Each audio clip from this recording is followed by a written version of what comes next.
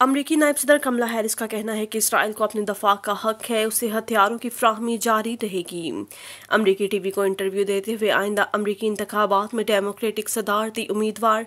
कमला Harris का कहना है कि बहुत सारे बेगुनाह फलस्तीनी मारे गए हैं, गजा में जंगबंदी के लिए कैदियों के तबादले की ज़रूरत है। उनका कहना है कि सदर जो बाइडन की इसराइल से मुतलिक पॉलिसियाँ हथियारों की फ्राहमी से इनहराफ नहीं करूँगी।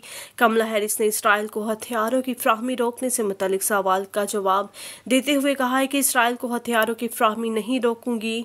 नायब अमरीकी सदर का कहना है कि इसराइल को अपने दफ़ा का हक है और ये कैसे होता है, इससे फ़र्क पड़ता है।